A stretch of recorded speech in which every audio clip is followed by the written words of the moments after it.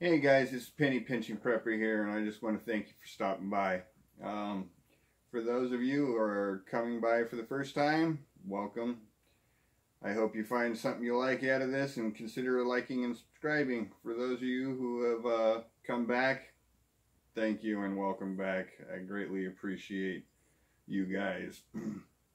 so today I thought I'd do something a little different. Um, seems like these prepping hauls seem to be on the rage and I picked up a few things and I thought I'd uh, share it with you. So let's just get into it. Um, I, got all kinds of different stuff here, but to start off, um, got some denatured alcohol. Guys, this stuff is getting more and more expensive, so get it now. Um, not to mention, you know, who, who knows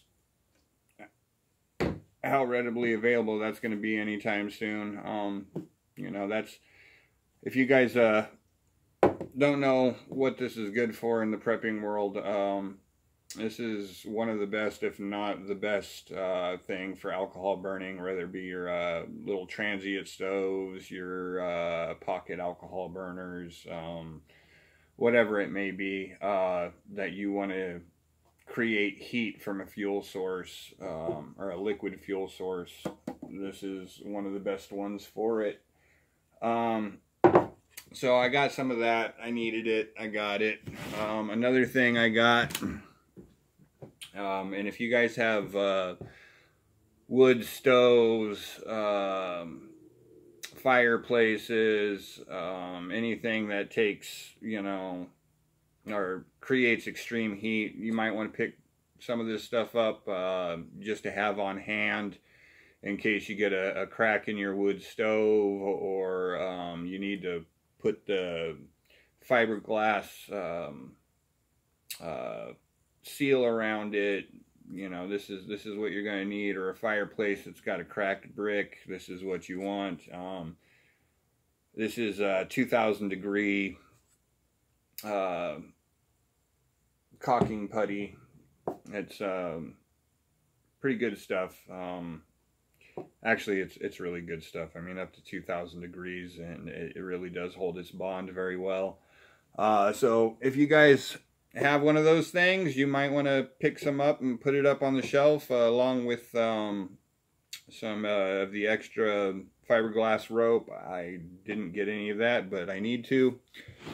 Um, Another thing I got was uh, I, I pick these up sporadically all the time. Uh, repair kits, I like to have them on hand. Um, and I like to have them everywhere, and uh, they're a great prep to have. I, I, actually got two different types. I got one for your uh, vinyl air mattresses. Um, flotation devices, stuff like that. And then I got a bike repair kit, and this works good for your uh, your air mattresses and stuff like that. But it also help for uh, other things like um, you know fixing a, a, plastic tub that might have a small hole in it. Believe it or not, a little patch kit like this will fix it up and allow you to use it for a little bit longer. Uh, there's different types of repair kits out there. I just happen to have grabbed these two.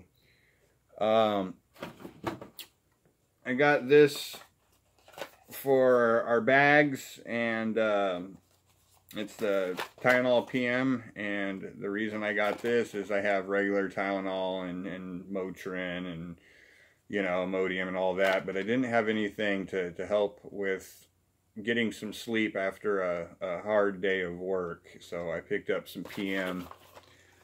Uh, went by the Dollar Tree. You know, we, we all love the Dollar Tree. And I, I got a few things from there. I can't go by the Dollar Tree and not pick up a, at least one pack of the Chemlights. Um, I I admit I'm kind of addicted to these things. Uh, it's just like having them on hand. They're great to have, and I mean they've got multiple uh, purposes from marking trails to giving a little bit of light. uh, attach one to your dog when you're camping, um, you know, all kinds of different things that you can use them for. I also picked up a couple packs of these uh, mini super glues. Um, I like to keep these on hand because they, they're great for, you know, throwing in your repair kit with these things. Um, they're also good to put in your first aid kit for emergency backup for a real bad gash that won't stop bleeding um, you know, little little super glue. Now it is going to sting, and it's not you know medical grade. Um, you know, and you you run risk. You run a slight risk of infection depending on if you didn't clean it out or not before you did it, and how well you take care of it after, and um, how good your immune system is. So many things come into play, but in a pinch, this works great. Um, so I always pick up the miniature ones. Um, not to mention, you know, if you've got to leave your home and you're going to be away for a while, um, better to have these little ones than open a big one and make a mess in your backpack with a big tube that it might accidentally get squished when you throw it down somewhere or something, right? so the other thing I got, and I had to try them out, so they're they're actually out, but I did get uh, a pack of these Strike Anywhere matches. It was a pack of 12 of them, I think. If I remember correctly, it might have been 10. Maybe it was only 10. Yeah, only 10. Um, so uh, these are the, the Cartwright Strike Anywhere matches. Um, I've never tried them before until I got these, and to be honest with you, I like them better than the Diamond Strike Anywhere matches. They uh, tend to have a, a better amount of the the white stuff on the tip that makes it the strike anywhere compared to the diamonds. The, the diamond seems to have gotten pretty chimpsy on that, and sometimes they don't always work. In fact, I'd say one out of three doesn't tend to work in my experience these days. So that was just some uh, another thing I grabbed because I wanted to try them and see if they were any better, and they are. So they'll be rotated into my my stuff.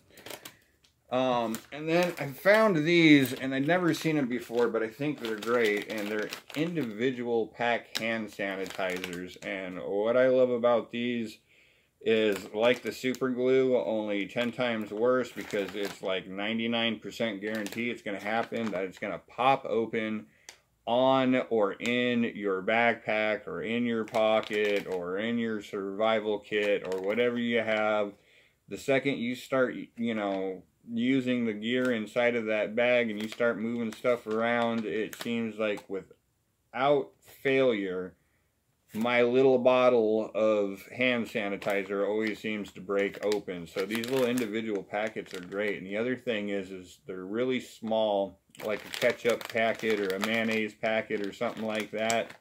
You get 24 to a pack. I got these at the Dollar Tree, so a buck 25.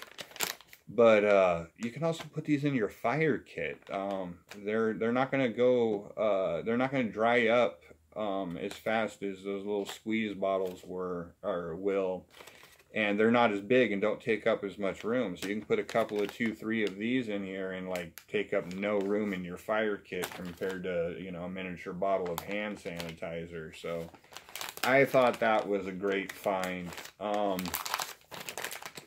so those will be making its way into my medical kits and stuff like that and replacing all my little uh, little bottles that I've always put in uh, my first aid kits, my, you know, everything that I've put hand sanitizer in. And then, last but not least, um, if you're over here in the, the Northwest, um, we have a chain of stores uh, called Bi-Mart. Um, it's uh, it's a members only store, but it's five dollars for a lifetime membership, and uh, they have some of the greatest prices on things. Um, for an example, uh, all your ammunition is cheaper than anywhere else in town. There, um, they run lots of good specials and deals. Um, another thing is what I'm getting ready to talk about, which is freeze dried food. um, I picked up a bucket of Mountain House.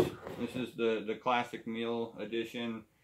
Um, and uh, I'm blocking my face, but I wanted you guys to get a semi-decent look at that. But, uh, so I'm going to squeeze in here between all this. Now I'm just going to put this down. But, um, Mountain House is has gone up in price like everything else, and um, I like getting at Bi-Mart if you guys have it in your area, check it out because um, you save anywhere from 50 cents to $2 a, a pouch at Bi-Mart compared to anywhere else except for maybe on Amazon, but that depends on who the seller is. Um, I get Mountain House for my freeze dried because I like it. It's good. It's full of nutrition and, and packed with protein. I mean, you get real vegetables, real meat. You get a lot of it. It's not just a bunch of fillers and kind of blandness. Um, some people say it's a little bit salty, but that's because it's a backpacking food, and when you're backpacking, you lose minerals. Salt replaces the minerals, so it's one of those things that it helps you keep hydrated and keep those minerals up so you don't get you know fatigued and aches and pains when you're you're backpacking. Um, i never recommend bucket food other than you know something like an actual brand like mountain house. Um, i think they're the only ones that make buckets um, outside of people like ReadyWise and and uh, um, my Patriot Supply and, and those types of things. And I, I really don't recommend them. Um, and reason being is if you've ever tried them, a lot of times the textures are bad. I'm a texture person, and I think the textures are just horrible.